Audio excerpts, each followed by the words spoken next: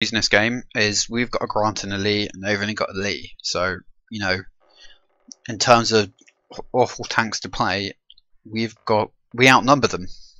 Although they have got a DW2, the the Durch, the Durchbruchswagen 2, which is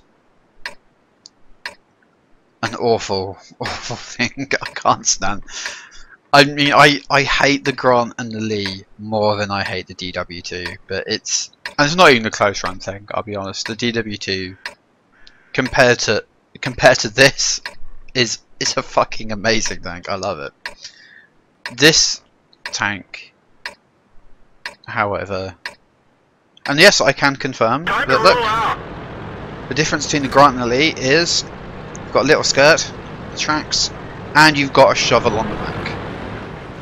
Whereas, okay, come Lee, I'll hold up this flank. If you hold up that flank, we'll inspire them with our presence. They'll see us coming, and the enemy will just surrender straight away. Mm. Guess this one me. E1. What a cute little tank that is. So I've got a Cruiser 2, Panzer uh, S35, and the V1. I learned that guy's name, Fox Maximus. I should have spotted him.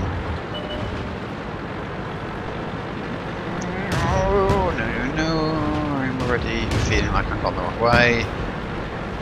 Might have to indulge in some cliff diving before I change it so that it's no longer particularly safe. Oh wait, there's people here shoot at. Alright.